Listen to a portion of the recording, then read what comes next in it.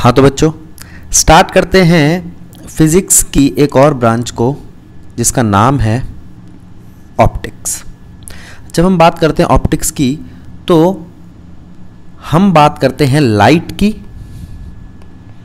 और उसकी प्रॉपर्टीज़ की. ठीक है? तो ऑप्टिक्स को अगर हम इसकी टेक्निकल टर्म में इसकी डेफिनेशन सोचें तो वो क्या है? Optics is the branch of physics that studies the behavior and properties of light, including its interaction with matter and construction of instruments that used और डिटेक्टेड मतलब भैया हम ये भी देखेंगे यहाँ पर कि किस तरीके के इंस्ट्रक्ट वो इंस्ट्रूमेंट्स बने जिनसे हम लाइट को डिटेक्ट कर सकें और लाइट को यूज़ कर सकें ठीक है तो ऑप्टिक्स को दो ब्रांच में बांट दिया हमने। एक है रे ऑप्टिक्स एक है वेव ऑप्टिक्स। हम जानते हैं लाइट ड्यूअल नेचर दिखाती है। ठीक है इस पर हमारा एक चैप्टर भी है। आ, तो ड्यूअल नेचर में हमारे पास दो नेचर आते हैं। एक तो आता है आपका पार्टिकल नेचर और एक वेव नेचर। तो उसी के उसी के रेफरेंस से हमने क्या किया? आपके ऑप्टिक्स की दो ब्रांच कर दी। एक तो रे ऑप्टिक्स और एक वेव ऑप्टिक्स। ठीक है? टेंथ क्लास में हम थोड़ा सा रे ऑप्टिक्स देख चुके हैं। अब कोई आपसे पूछे, ऑप्टिक्स क्या है? तो आपने कहा, भैया, स्टडी ऑफ़ लाइट। और लाइट क्या है? Kind of energy. ठीक है? और लाइट का सबसे छोटा पार्टिकल क्या है? वो है फोटोन। तो स्मॉलेस्ट पार्टिकल क्या है लाइट का? फोटोन। और फोटोन का प्लूरल क्या होता है? फ़ोटो। ठीक है? फ़ोटो टर्म पे ध्यान देना, ये कुछ नहीं है, ये प्लूरल है फोटोन का। और रे का मतलब क्या है? जब बहुत सारे फ़ोटो एक लाइन में चले। और बीम का मतलब क्या है? बहुत सारी रेस। ठीक? अब ऑप्टिक्स का, ये जो ऑप्टिक्स की जो पहली ब्रांच है, रे ऑप्टिक्स, हम इसकी बात करेंगे इस चैप्टर में। अभी देखते हैं हम इस रे ऑप्टिक्स में आता क्या क्या है। देखो, यहाँ हम बात करने वाले हैं रिफ्लेक्शन की। रिफ्लेक्शन के अंदर आपका आ जाता है प्लेन मिरर स्फेरिकल मिरर उनके रे डायग्राम्स यहाँ तक का पोर्शन और या mirror formula relation between radius और focal length magnification refraction refractive index real depth apparent depth total internal reflection application of total internal reflection Snell's law ठीक है? Refraction at curved surface lens के बारे में thin lens formula lens maker formula power of lens combination of lens prism के बारे में। तो आप देखोगे ये इसमें से काफ़ी हिस्सा, यानी कि अप्रॉक्स सिक्सटी परसेंट तो आपने टेंथ क्लास में पढ़ा था। अब बस उसी को एलेबोरेट करेंगे और उनकी डेरिवेशन वगैरह देखेंगे। ठीक है? ये पूरा चैप्टर आपका ब्रीफ है, देखो यहाँ पे। ये एक माइंड मैप सा बना दिया इसका। ठीक है? आगे चलते हैं। जो ऐसी चीज़ें देखनी हो ना बेटा, इनको लिख लिया करो वीडियो पॉज करके। बात आती है रे ऑप्टिक्स की। तो रे ऑप्टिक्स की जब हम बात करते हैं तो एक प्रॉपर्टी हमने पढ़ी थी रेक्टिलीनियर प्रॉपर्टी यानी कि लाइट सीधा चलती है। ये छोटी क्लास में पढ़ा आपने एट्थ या नाइन्थ में तो वहाँ पर ऐसे कार्डबोर्ड लगा देते हैं और उनमें होल कर देते हैं।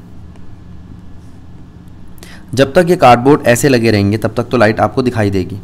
लेकिन अगर एक कार्डबोर्ड लगाया जिसमें होल यहाँ पर है तो आपको लाइट दिखाई नहीं देगी।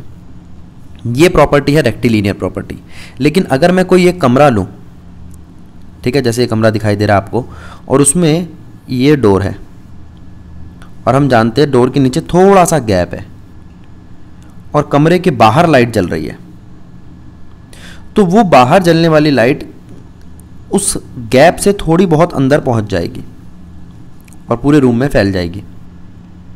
तो उस पूरे रूम में जिसके अंदर लाइट का कोई भी सोर्स नहीं है परफेक्ट ब्लैकआउट नहीं होगा। तो आप कहोगे, भैया लाइट तो सीधी सीधी चलती थी तो ये अंदर कैसे घुसी? तो ये वही वाली बात, इसका वेव नेचर लाइट साउंड के जैसा बिहेव कर रही है। जैसे आप जानते हैं साउंड जो है, अगर आप कोई ऐसा बैरिकेड लगा दो बीच में, जिसमें थोड़ा बहुत भी गैप हो तो उस गैप से पार हो जाता है साउंड ठीक है? तो उसी तरीके से लाइट भी एक मीडियम से एक रूम से दूसरे रूम में जा रही है। इसका मतलब ये वेव की फॉर्म में यहाँ से पास आउट हुई होगी। ठीक है?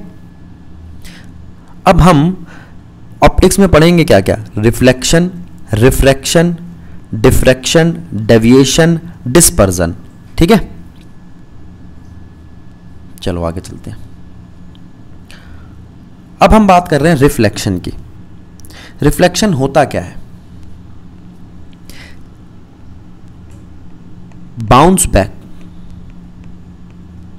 of light from reflecting surface. अब इंपॉर्टेंट बात पे ध्यान देना। In same medium medium same रहेगा बेटा। वापस आ जाना उसी मीडियम में लाइट का।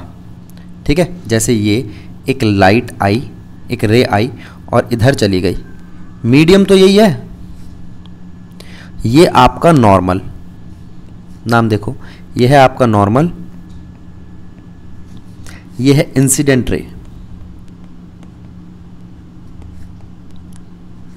ये है रिफ्लेक्टेड रे और ये है रिफ्लेक्टिंग सरफेस ठीक है? अगर सरफेस स्मूथ हो तो कंप्लीट रिफ्लेक्शन हो जाएगा। और अगर सरफेस रफ हो तो यहाँ पर थोड़ा सा एब्जॉर्प्शन भी होगा और वो आई और आर वाला जो एंगल है, वो भी नॉर्मली हमें ढंग से नहीं मिलेगा तो आई और आर भी गड़बड़ करेंगे। ठीक है? अब इससे बिल्कुल अलग रिफ्रैक्शन क्या होता है? ये होता है bending of light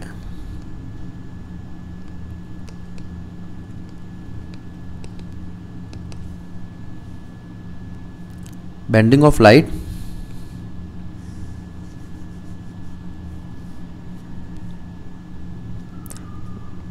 when light moves from medium one to another ठीक है? जैसे मैंने यहाँ पे एक ग्लास स्लैब लिया।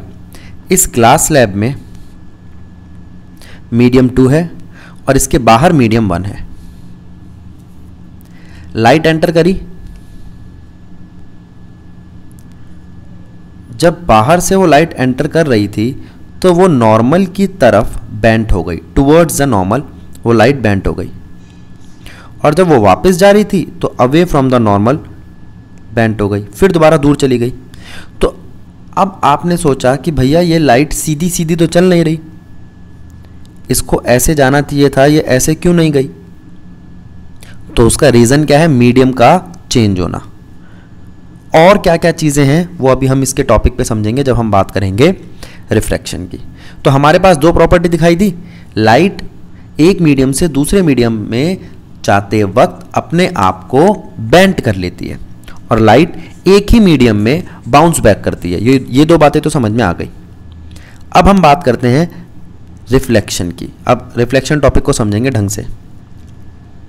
पहली बात रिफ्लेक्शन होता कब है भाई? रिफ्लेक्शन सेम मीडियम में होता है। तो रिफ्लेक्शन में एक चीज़ ध्यान रखनी है मीडियम सेम रहेगा प्लेन सरफेस पे ही होगा तभी आपका ये आई और आर वाला लॉ काम करेगा। ये क्या लॉ है मैं बताता हूँ। देखो लॉज ऑफ़ रिफ्लेक्शन पहला लॉ इंसिडेंट एंगल और रिफ्लेक्टेड एंगल आई और आर इक्वल होने चाहिए। और दूसरा लॉ जो आपकी इंसिडेंट रे है और जो आपकी रिफ्लेक्टेड रे है और जो आपका नॉर्मल है। इंसिडेंट रे रिफ्लेक्टेड रे और नॉर्मल तीनों एक प्लेन पे होनी चाहिए। एक पॉइंट पे नहीं कहा बेटा मैंने, एक प्लेन पे। ध्यान रखना, एक प्लेन पे होनी चाहिए। अब बच्चा कहेगा, भैया, इसका नॉर्मल क्या है? बेटा, क्या दिक्कत है? यहाँ एक नॉर्मल बना लो, एक यहाँ पे नॉर्मल बना लो। ठीक है? तो यहाँ का जो आई है, वो यहाँ के आर के इक्वल होगा। ये बेटा मैंने हाथ से बनाया, इसलिए थोड़ा बहुत एंगल का डिफरेंस होगा। उससे, उसको मत ऑब्ज़र्व करना। बस ये समझ लो, ये वाला जो इंसिडेंट रे है, वो इस वाले या किसी भी रिफ्लेक्टेड रे के बराबर ही एंगल सब्सटेंड करेगा। अगर प्लेन सेम है तो देखो, ठीक है? अब प्लेन सेम है? नहीं। तो अब i is equals to r नहीं लगेगा। पॉइंट सेम होना ज़रूरी नहीं है। कुछ बच्चे सोचते हैं एक ही पॉइंट पे बनना चाहिए। नहीं नहीं नहीं लॉ ध्यान से पढ़ो। वो सेम पॉइंट नहीं सेम प्लेन की बात कर रहा है। ठीक है? आगे चलते हैं। अब वो कहता है, अगर मैं प्लेन मिरर की बात करूँ तो ज़रा देखना इस मिरर को। इस मिरर में अगर मैं इसकी शक्ल, ये जो भी कोई आदमी खड़ा है, इसको मैं इस मिरर के पीछे देखूँ तो वो सेम हाइट का दिखाई देगा वर्चुअल दिखाई देगा और सेम डिस्टेंस पे दिखाई देगा। अगर मिरर से यहाँ तक का डिस्टेंस 10 सेंटीमीटर है तो मिरर से इमेज का डिस्टेंस भी 10 सेंटीमीटर होगा। इमेज वर्चुअल होगी। प्लेन मिरर का रेडियस इनफाइनाइट होगा। ये छोटी छोटी बातें ध्यान रखना। प्लेन मिरर का फोकस वो भी इनफाइनाइट होगा। ठीक है? एक बेटा केमिस्ट्री में ना टॉपिक था ऑप्टिकल आइसोमेरिज्म वहाँ पे हमने ये देखा था कि ए को ऐसे रखो तो वो ऑप्टिकली इनएक्टिव दिखता है, लेकिन ऐसे रखो तो ऑप्टिकली एक्टिव दिखता है। ये ऑप्टिकली इनएक्टिव है।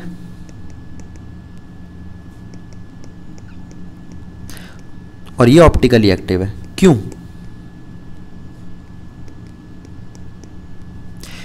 मैंने इनका क्या चेंज किया? क्योंकि ए तो ए ही। है मैंने इनका प्लेन ऑफ़ पोलराइजेशन चेंज कर दिया। क्या चेंज कर दिया?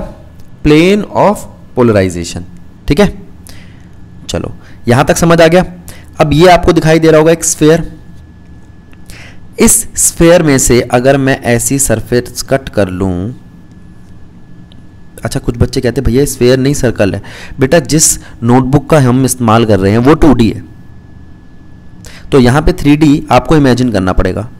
तो ये एक स्फेयर है जिसमें से दो कर्वेचर या सर्कुलर पार्ट कट किए गए हैं। ठीक है? एक येरा कर्व थ्री है इसलिए इसे कर्वेचर कहते हैं। जैसे यहाँ दिखा रखा है कि भाई इसमें से ये कट कर लिया और फिर ये बना दिया। अब ये क्या है? कन्वेक्स या कनकेव वो तो डिपेंड करता है। मैं शेडिंग कहाँ पे करूँगा? अगर मैंने इसके इधर शेड किया तो इस वक्त तो ये दिखाई दे रहा है आपको कन्वेक्स टेंथ में पढ़ा था ना? और अगर मैंने इधर शेड किया तो ये क्या दिखाई दे रहा है? कनकेव तो कन्वेक्स और कनकेव किस चीज़ पे डिपेंड करता है? कि मैं शेड किधर से करता हूँ। मतलब इसकी रिफ्लेक्टिंग सरफेस कौन सी छोड़ता हूँ?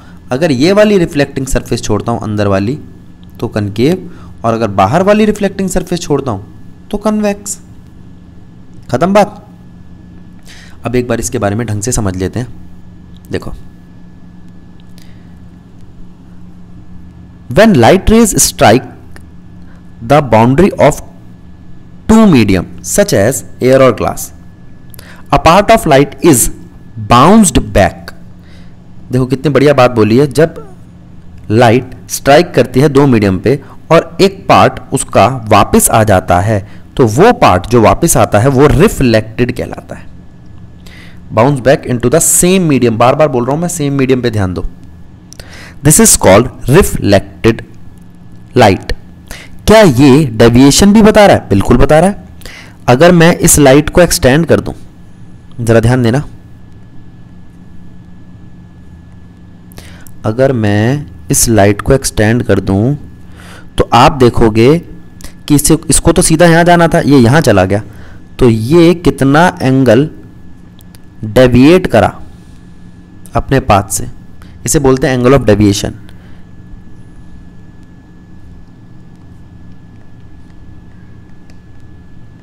अपने पाथ से डेविएट होना, ठीक है? प्रिज्म में समझेंगे हम प्रिज्म में बार बार आएगा ये वर्ड डेविएशन ये भी डेविएशन है। अब वो कहता है, आपके पास दो तरीके के रिफ्लेक्शन है, एक है रेगुलर और स्पेक्युलर रेगुलर का मतलब क्या होता है? ये जो दिखाई दे रहा है आपको नॉर्मल इस तरीके का रिफ्लेक्शन ठीक है? आई और आर वाली बात जिसमें आराम से दिखाई देती है।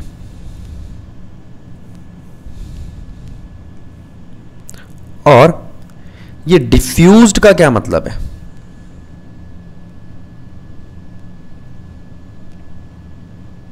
डिफ्यूज्ड रिफ्लेक्शन का क्या मतलब है? जब सरफेस रफ हो, ठीक है? जिससे उसे रिफ्लेक्शन करना है, वहाँ पर रिफ्लेक्शन रफ होगी तो डायरेक्शन रेगुलर नहीं रहेगी। क्या डायरेक्शन रेगुलर नहीं रहेगी? और इसे कहते हैं हम diffused reflection when the surface is rough light is reflected from the surface from bits of its plane surfaces in irregular direction. This is called diffused reflection. ठीक है? अच्छा जी। इसके बाद लॉज ऑफ़ रिफ्लेक्शन जो पीछे बताए थे, उनको यहाँ पे एक बारी फिर से देख लो। ये देखो, ये लॉ क्या कहता है? इंसिडेंट रे और रिफ्लेक्टेड रे और नॉर्मल एक प्लेन पे आने चाहिए। और ये लॉ क्या कहता है? आई इक्वल्स टू आर होना चाहिए। ठीक है? सरफेस चाहे वो स्फेरिकल हो, चाहे वो प्लेन हो, कोई दिक्कत नहीं है। देखो, ये वाली सरफेस तो अभी पीछे हम पढ़ के आ रहे हैं। अब इस वाली सरफेस को देखना बेटा, ये डॉटेड लाइन से इसने क्या कर दिया? इस कर्व्ड सरफेस पे एक टेंजेंट ड्रॉ कर दिया। और उस टेंजेंट के हिसाब से इसने एक नॉर्मल ड्रॉ कर दिया। ये रहा आपका कर्व्ड सरफेस पे टेंजेंट और ये रहा आपका इस टेंजेंट पे नॉर्मल क्योंकि कर्व सरफेस पे तो नॉर्मल बन नहीं पाएगा। फिर उसने ये इंसिडेंट रे और ये रिफ्लेक्टेड रे ले ली। ठीक है? तो चाहे कर्व्ड सरफेस कन्वेक्स हो या कर्व सरफेस कनकेव हो। ठीक? आगे चलते हैं।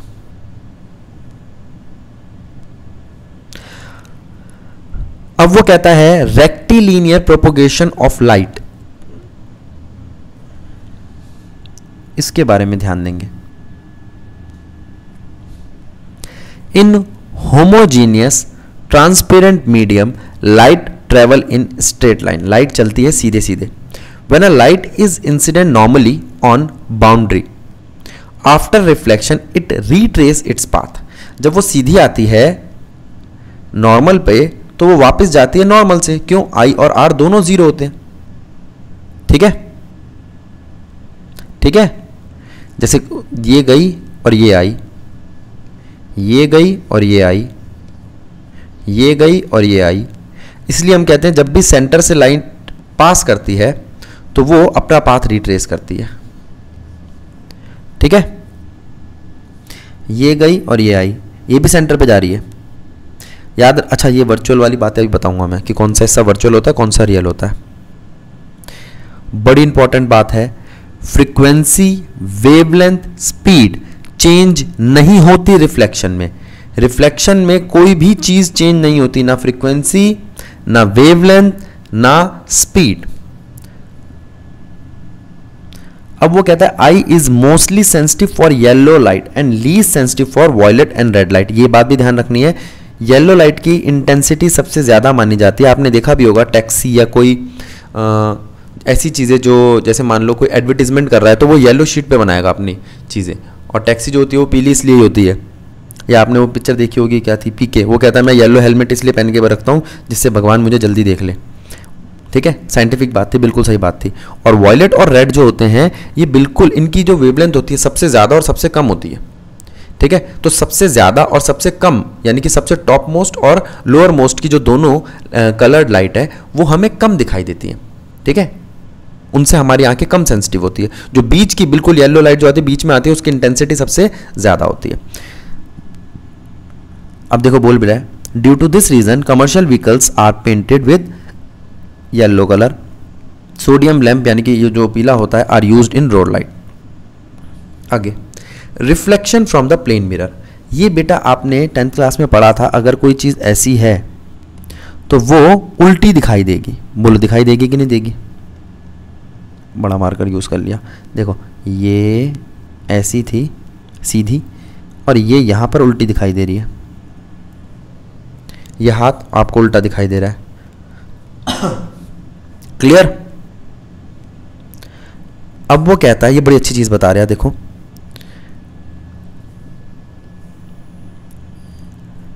ये एल एन नोट्स में से लिया है मैंने, बड़ा अच्छा लिखा हुआ है। क्या कहता है? A plane mirror behave like a virtual like a window to a virtual world अगर आप इस प्लेन मिरर को देखोगे ना तो पता है आपको क्या लगेगा? कि आप एक नकली दुनिया की ये नकली दुनिया ये वाली, ये वर्चुअल वर्ल्ड है। इसके अंदर घुस गए हैं, इस प्लेन मिरर की मदद से, जिसमें आपको सब कुछ नकली दिख रहा है। पंखा नकली, ये देखो, ये फ़ैन यहाँ पर है रियल ये है वर्चुअल ये रहा एक गमला, और यहाँ पर आपको वर्चुअल वो गमला दिखाई दे रहा है। ये सब कुछ असली नहीं है। ठीक है? और आपको कितना दिखाई देगा? जितना मिरर होगा ना, उस, उससे डबल रेंज का दिखाई देगा। जैसे आपको कोई कहे कि भाई, इस रूम में इतनी बड़ी वॉल है, ये पूरी की पूरी वॉल मुझे इस मिरर में चाहिए। तो मैं कहूँगा, ये मिरर कम से कम इस पूरी वॉल की हाइट का आधा होना चाहिए। अगर ये एच है तो इस मिरर की हाइट एच बाई टू होनी चाहिए, तभी दिखाई देगा, नहीं तो मुझे दिखाई नहीं देगा। पूरा। आधा अधूरा तो दिखाई देगा। ठीक। देखो ये कंसेप्ट यहाँ समझा रखा है। वो कहता है, मान लो, ये आपका मिरर है। ये सबसे ऊपर वाला पॉइंट है, वहाँ से लाइट आती है और इस मिरर के बिल्कुल टिप पे लगती है टॉप मोस्ट टिप पे, और यहाँ पर मुड़ जाती है। ठीक है? ऐसा यहाँ होता है, ये सबसे नीचे वाले पे लगती है और यहाँ पे मुड़ जाती है। तो नीचे वाले ने ये वाला पॉइंट दिखा दिया, ऊपर वाले ने ये वाला पॉइंट दिखा दिया और ये सारा हिस्सा अगर टॉप टॉप वाला पॉइंट जो है, जिसके हमें इमेज बनानी है, वो आ जाए और जो लोअर मोस्ट पॉइंट है, वो आ जाए। तो इस मिरर में पूरी ये चीज़ दिखाई देने लगेगी। क्लियर हुआ? अब ये एंगल तो इक्वल है। तो आप ये कह सकते हो कि भैया, ये वाली साइड इसके इक्वल है और ये वाली साइड इसके इक्वल है। मैं नाम देता हूँ इनको, ज़रा ध्यान देना। ये ये जो छोटा सा हिस्सा दिखाई दे रहा है आपको ये ये इसके इक्वल है और ये इसके इक्वल है। अब ये पूरा कितना है? ये डिस्टेंस कितना है? ये। जिसकी इमेज बनाने जा रहे हो वो डिस्टेंस कितना है? वो है h कितना है?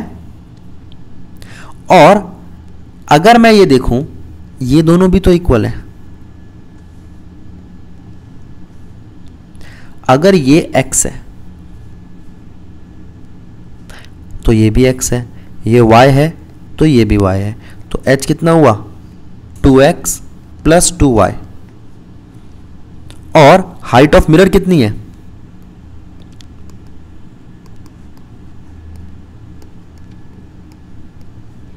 x प्लस वाई देखो ये रही, x प्लस वाई तो x प्लस वाई कितना हो गया? H बाय टू क्योंकि इसमें से कॉमन दिखाई दे रहा है, ये निकलता हुआ। बोलो, कोई दिक्कत? आसान है? ये है आपका मिरर और ये है आपका, जो पर्पल वाले मार्कर से कर रहा हूँ मैं ऑब्जेक्ट अगर मैं ऑब्जेक्ट में ये हिस्सा देखूँ तो ये मिरर की हाइट के इक्वल है। और ये हिस्से उतने ही हैं जितनी हाइट बची है मिरर की, जो ग्रीन पार्ट में बनाई है। ठीक है? तो मिरर एग्जैक्ट उसका हाफ़ हो गया कि नहीं हो गया? एक ही डेविएशन वाली बात बता रखी है, देख लेना।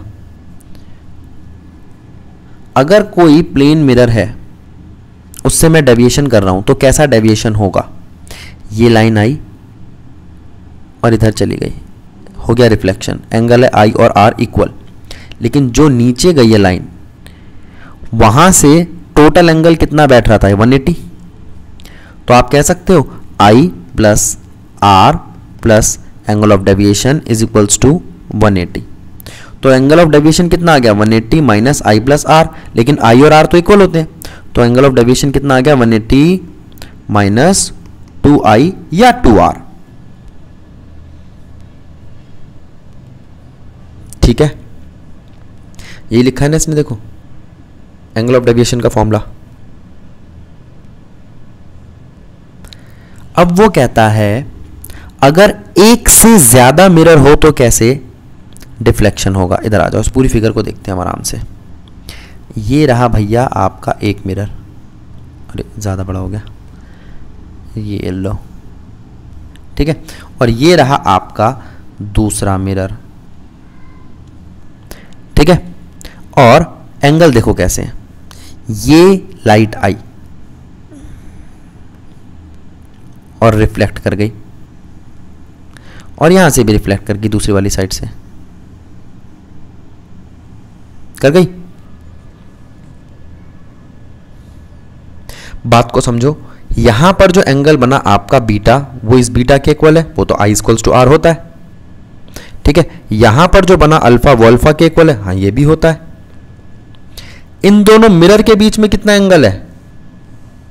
थीटा। कितना एंगल है? थीटा। ठीक है? अब, अगर आप इस रे को देखो, ये तो इस रे में एक तो टू बीटा एंगल आ रहा है और एक एंगल ऑफ़ डिफ्लेक्शन आ रहा है। सेम यहाँ पर भी है, नीचे वाले मिरर में। टू अल्फ़ा एंगल आ रहा है और एक एंगल ऑफ़ डिफ्लेक्शन आ रहा है। तो आप ये कह सकते हो कि एक तो आपकी इक्वेशन बनी two beta plus deflection is equals to 180 दूसरी equation, two alpha plus deflection is equals to 180 ठीक है? अच्छा अब इस बात को समझना। ये नॉर्मल है, इस प्लेन से और ये नॉर्मल है, इस प्लेन मिरर से। तो अगर ये बीटा है तो 90 माइनस बीटा होगा, ये अल्फ़ा है तो 90 माइनस अल्फ़ा होगा। और ये एक ट्रायंगल है, इसके अंदर ये प्लस ये थीटा के इक्वल है। थीटा तीनों वन एटी के इक्वल है। Theta plus 90 minus beta plus 90 minus alpha is equals to 180 तो यहाँ से आपको दिखाई दे रहा है, ये यह यहाँ से थीटा यहाँ छोड़ के बाकी सारा दहेज उठा के उधर ले जाओ तो 90 90 प्लस होके 180 माइनस हो जाएगा, ज़ीरो हो जाएगा, अल्फ़ा प्लस बीटा। आ जाएगा और अल्फ़ा प्लस बीटा ऊपर भी दिखाई दे रहा है। ऊपर इक्वेशन क्या दिखाई दे रही है? Two alpha plus two beta plus delta plus delta two is equals to one eighty. दिखाई दे रही है?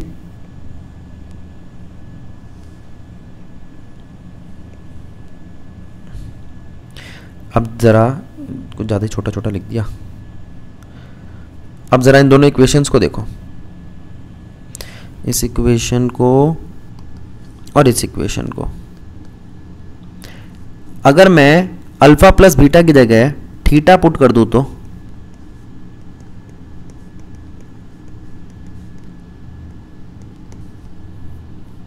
एक मिनट गलती कर दी ना। ये थीटा प्लस थीटा करा था तो 360 हो जाएगा ये।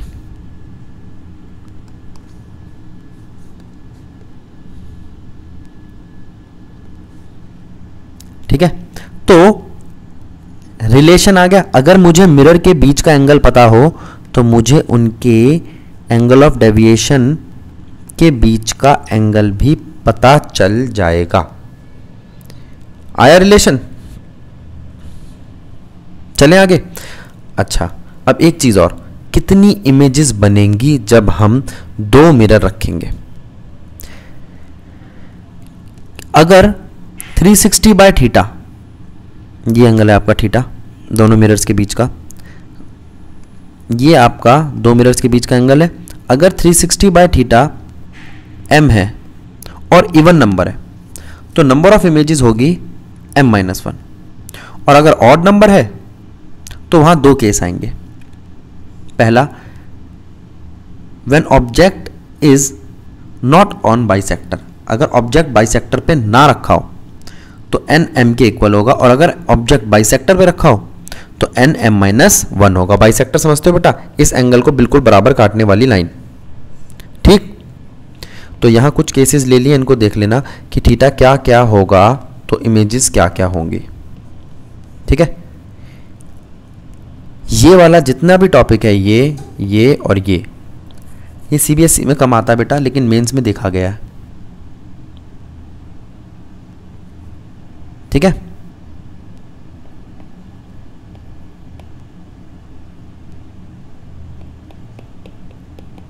चलो, आगे चलते हैं। बात आती है इसके बाद कर्व सरफेस की। ठीक है? अब कर्व सरफेस का मतलब क्या है? कर्व मिरर का या कर्व्ड सरफेस का मतलब क्या है? भाई, अभी हमने वैसे तो टेंथ में ही पढ़ा है और अभी भी थोड़ी देर पहले बात की थी कि मान लो ये लो, ये एक स्फेरिकल सरफेस का कटआउट है। ठीक है? तो उसमें मैंने तुम्हें कहा था कि बेटा, ये टू डी है, इसलिए दिखाई नहीं देता। उसमें एक ऐसा भी होता है पार्ट ये जैसा यहाँ दिखाई दे रहा है, ये। आपने वो देखिए, कटोरी, या बेस्ट पार्ट है चम्मच। जो चम्मच होती है, वो कुछ ऐसी होती है। है ना? उसके अंदर गैप होता है। अगर उसे पीछे से देखो चम्मच को तो वो कन्वेक्स मिरर लगती है, और आगे से देखो तो कनकेव मिरर लगती है। ठीक है? जो तुम्हारी चम्मच होती है, वो कन्वेक्स मिरर या कनकेव मिरर लगती है। है ना?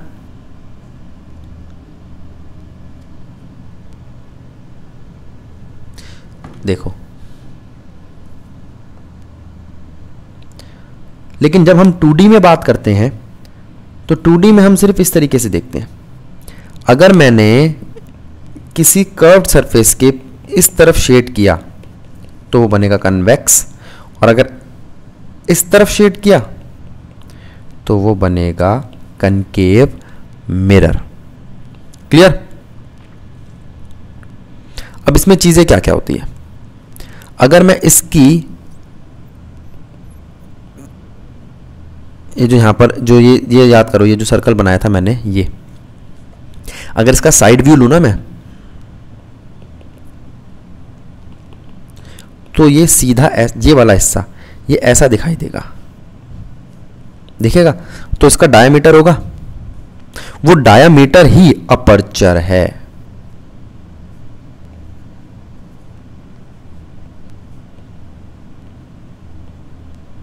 अपर्चर ऑफ़ मिरर ये कहाँ दिखाई दे रहा आपको? ये दिखाई दे रहा अपर्चर देखो, ये मैं बार बार समझा रहा हूँ, ये 2D है और वो 3D है। तो टॉप व्यू जब हम देखते हैं, सामने से जब देखते हैं चम्मच को तो गोल दिखाई देती है और उसका बीच का जो डायमीटर होता है, वो अपर्चर का रोल प्ले करता है। उस अपर्चर से अगर आपने कोई लाइन परपेंडिकुलर खींची तो वो प्रिंसिपल एक्सिस है। क्या है? वो प्रिंसिपल एक्सिस है, जिस पे मैं ये कैलिब्रेशन करूँगा, जिससे मुझे पता चले क्या है इसका सेंटर क्या है इसका फोकस ठीक है? वगैरह वगैरह। क्या है इसका पोल? एक बात बताओ ये निकला तो एक स्फेयर से ही है तो स्फेयर का कोई ना कोई सेंटर भी होता होगा। अब ये गलती तो नहीं करोगे ना? अब जैसे मान लो ये इधर है तो सेंटर तो इधर ही होगा, अंदर। ये थोड़ा बड़ा बनाना पड़ेगा, पेज के बाहर चला जाएगा। ये देखो, सेंटर यही होगा ना? तो जिस तरफ़ कर्व है, उस तरफ़ सेंटर आएगा। जिस तरफ़ कर्व है, उस तरफ़ सेंटर आएगा। ठीक है? और अभी के लिए समझ लो सेंटर से पोल तक के डिस्टेंस का अगर आप हाफ़ करोगे तो आपको फोकस मिल जाएगा। क्लियर जरा देखो। चाहो तो इसको नोट कर लो वीडियो पॉज करके, फिर हम आगे बढ़ते हैं। एक मिनट का टाइम लो, फिर हम आगे बढ़ते हैं।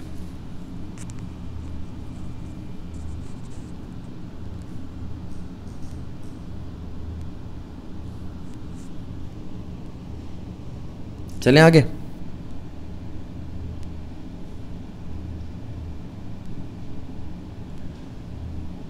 अब बात आती है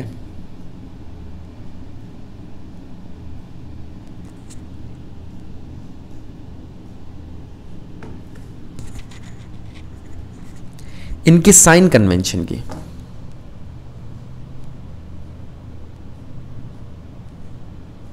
जरा ध्यान दो।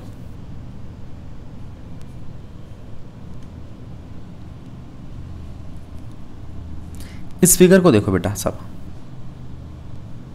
ये फिगर कैसे बनाई है मैं समझाता हूँ आपको। पहले एक मिरर लिया। उस मिरर पे एक प्रिंसिपल एक्सिस बनाया। प्रिंसिपल एक्सिस परपेंडिकुलर है अपर्चर से। इतनी बात समझ आई? अब इस प्रिंसिपल एक्सिस पे सेंटर ढूंढा। इस कर्व का। ठीक है? अब, इस सेंटर का हाफ़ क्या आपको मिल गया फोकस यहाँ पर मैं कहीं पे भी ऑब्जेक्ट रखता हूँ, यहाँ पे यहाँ पे यहाँ पे तो मुझे उसकी इमेज मिलती है। क्या मिलती है? जैसे ये इमेज मिली है इसके लिए। अब फोकस तक का डिस्टेंस कहलाता है फोकल लेंथ सेंटर तक का डिस्टेंस कहलाता है रेडियस ऑब्जेक्ट तक का डिस्टेंस कहलाता है ऑब्जेक्ट डिस्टेंस और इमेज तक का डिस्टेंस कहलाता है इमेज डिस्टेंस u है ऑब्जेक्ट डिस्टेंस f है फोकस v है इमेज डिस्टेंस r है रेडियस ठीक है? बस खत्म. चलो. अच्छा. सारी कैलकुलेशन पोल से स्टार्ट होगी. ये साइन कन्वेंशन का पहला रूल है. और जितनी भी चीज़ें, ये इंसिडेंट रेडिएशन है. इंसिडेंट रेडिएशन की डायरेक्शन में मेजर होगी पोल से, वो पॉजिटिव होगी। इसका मतलब ये यू तो नेगेटिव है, क्योंकि ये तो उल्टा जा रहा है। एरो ही दिख रहा है आपको। ये एफ़ भी नेगेटिव है हाँ ये वी भी नेगेटिव है और ये आर भी नेगेटिव है, क्योंकि ये चारों इंसिडेंट रेडिएशन की डायरेक्शन से ऑपोजिट जा रहे हैं, ठीक है?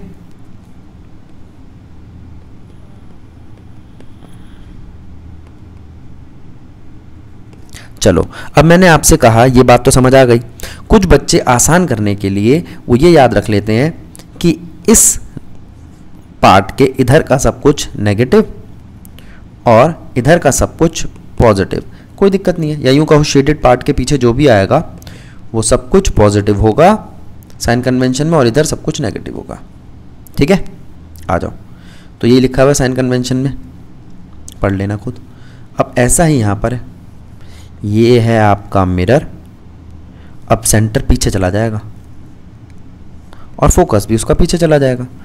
पोल से अगर मैं सेंटर तक का डिस्टेंस मेज़र करूँ, यानी कि आपका रेडियस तो वो होगा पॉजिटिव एफ़ तक का डिस्टेंस करूँ, यानी कि आपकी फोकल लेंथ वो भी होगी पॉजिटिव इमेज तक का डिस्टेंस मेज़र करूँ, यानी कि आपका इमेज डिस्टेंस वो भी होगा पॉजिटिव तो यहाँ सिर्फ़ रह गया यू नेगेटिव क्योंकि यू की डायरेक्शन अब भी इंसिडेंट रेडिएशन से उल्टी है। वी और इंसिडेंट रेडिएशन की सेम है। इंसिडेंट रेडिएशन और रेडियस और फोकस की सेम है। इसको देखो, फिर हम आगे बढ़ते हैं।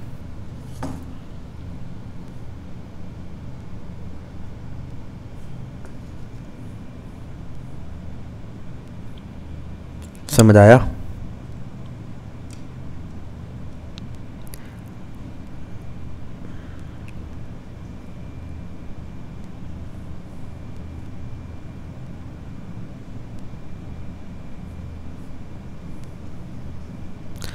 अब वो जो, चलो ये तो बात समझ में आ गई। इधर ध्यान दो। ये क्या है भैया?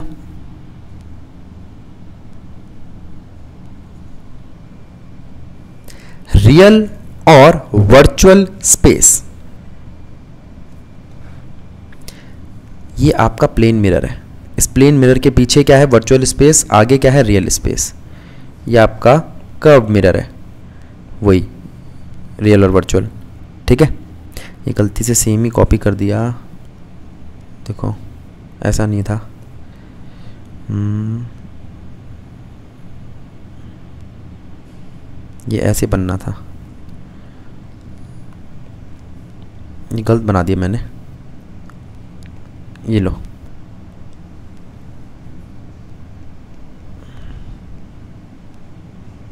एक मिनट रुको रुको। ठीक है ठीक है ठीक है। भाई, ये क्या करा है? सीधा ही है, यहाँ शेडिंग उल्टी कर दी मैंने। देखना बेटा, ये रहा आपका रियल और ये रहा वर्चुअल वर्चुअल हमेशा वहाँ होगा, मैंने बोला था ना, जहाँ शेडेड पार्ट हो। देखो, ये इसकी शेडिंग इसकी शेडिंग इस तरफ़ है मिरर के। ये है क्लियर ठीक है। अब ऑब्जेक्ट कैसे कैसे हो सकते हैं? क्या ऑब्जेक्ट भी रियल और वर्चुअल हो सकते हैं? हाँ जी, हो सकते हैं। ये रहा आपका पॉइंट ऑब्जेक्ट अगर इस हिस्से पे आता है तो रियल तो यहाँ से ये रे जा रही। लेकिन आपने कहा, नहीं भैया रे आ रही थी मिरर पे पड़ी और पीछे जाके कहीं मिलेंगी। तो तुम्हारा ऑब्जेक्ट वर्चुअल हो जाएगा। अब मेरी बात सुनना। जब रियल ऑब्जेक्ट है तो यू होता है नेगेटिव और अगर ऑब्जेक्ट वर्चुअल हो तो यू पॉजिटिव हो जाता है। टेंथ तक तो आपने सिर्फ़ इतना ही समझा था कि जो ऑब्जेक्ट होता है वो हमेशा नेगेटिव होता है। ऐसा ज़रूरी नहीं है। ठीक है? ऐसा ज़रूरी नहीं है। अब ये देखो, ये ऑब्जेक्ट रियल है। तो इसका यू नेगेटिव है। और भी स्फेरिकल दिखाए होंगे। चलो यही है। आ जाओ इमेज अगर इमेज की बात करूँ तो मैं ये रहा आपका ऑब्जेक्ट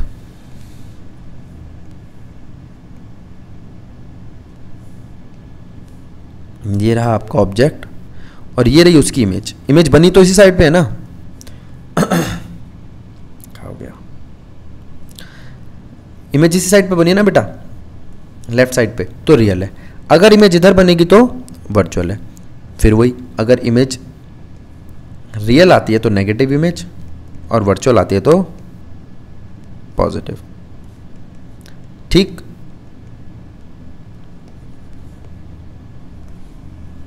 स्पेरिकल सरफेसेस के बारे में बता चुका हूँ. साइन कन्वेंशन में आपको बता चुका हूँ. ये रूल्स जो हैं इमेज फॉर्मेशन के, वो हम लेंगे अब अगले लेक्चर में. तब तक के लिए राधे राधे